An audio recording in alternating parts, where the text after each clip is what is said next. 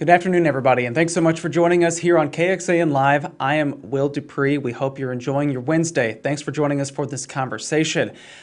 During the ongoing pandemic, we have been tracking what life may be like and how we're going to navigate that now that more people are becoming vaccinated against COVID 19. So, to start things off, we want to catch you up on the latest data. Yesterday, the Texas Department of State Health Services reported that more than half of the state's population has now gotten at least one dose of the COVID 19 vaccine. Meanwhile, almost 40% are now fully vaccinated. Safety conversations are happening now about whether businesses, schools, or venues may require people to provide proof of vaccination to get into buildings or attend events or gain services. Last month, you may remember that Governor Greg Abbott issued an executive order effectively banning so called vaccine passports. He released this video right here on YouTube when he announced this executive order. In it, it states that government agencies or organizations that receive public funds cannot require proof of vaccination for entry or services. Now, what about other situations? That particular question has raised a lot of attention for something that was created by a Colorado doctor. He made what's called the ImmunaBand, which you see right here next to me. Now, Earlier today, we wanted to find out more, so I called up Dr. Tashof Bernton, and he did an interview with me about this particular product and exactly how it works. We wanted to share that with you now, so here is that conversation. Stay with us.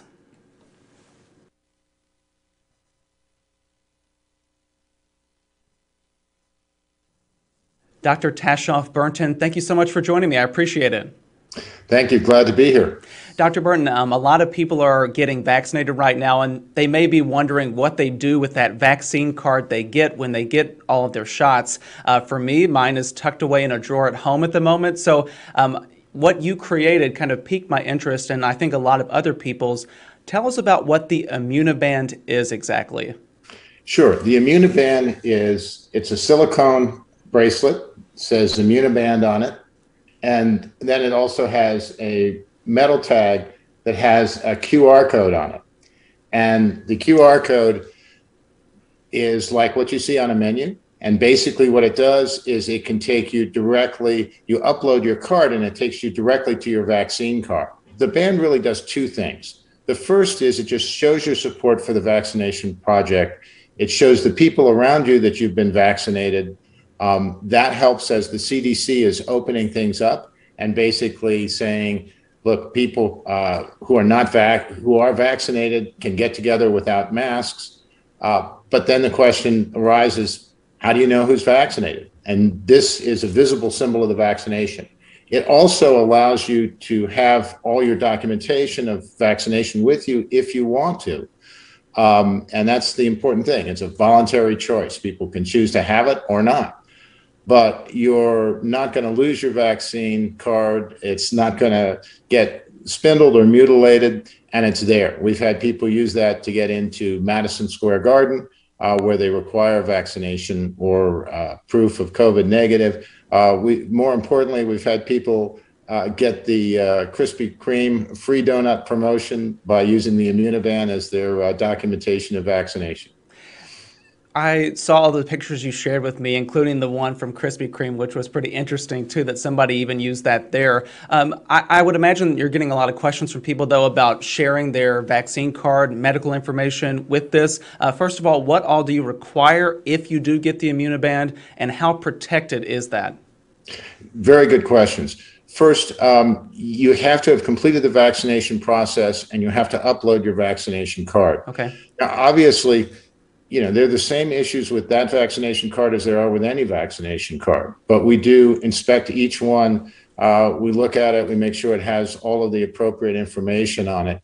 Uh, as far as security, there's really two things. One, it's PIN code protected. So when you pull up the QR code, it doesn't go directly to your uh, vaccination card. It goes to a screen that allows you to enter a PIN code, your own, which you choose and can change. And then after you enter the PIN code, it shows the vaccination, uh, the date, and it shows the vaccination card itself.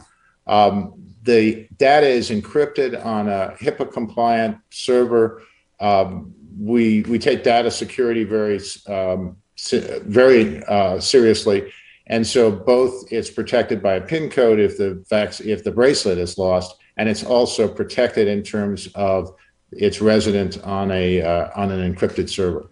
And you mentioned that this has already been used to gain entry into some places. Um, are you working with any particular venues or businesses here in Texas to do that same thing?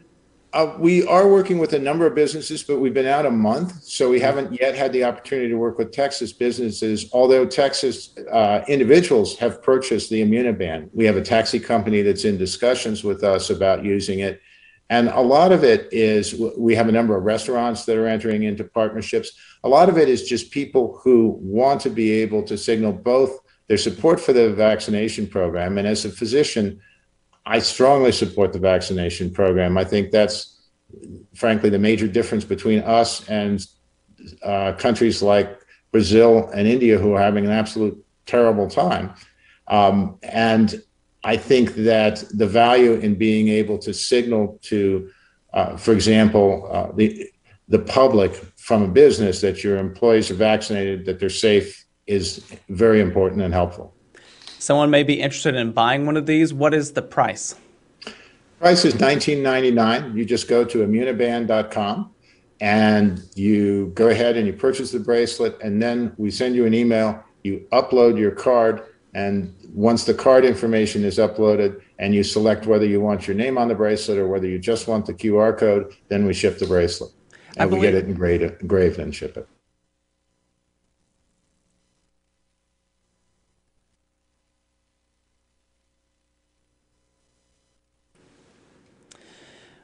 All right, everybody. That was uh, Dr. Tashoff Burton. He is the creator of the ImmunaBand. More information about that product he's created and how exactly it works. If you have any other questions, we've uh, created a pretty in-depth story on our website, kxan.com, to share some more information. Um, another piece of this is that uh, Dr. Burton said that part of the profits from ImmunaBand sales are actually going to be donated to charities providing COVID-19 relief.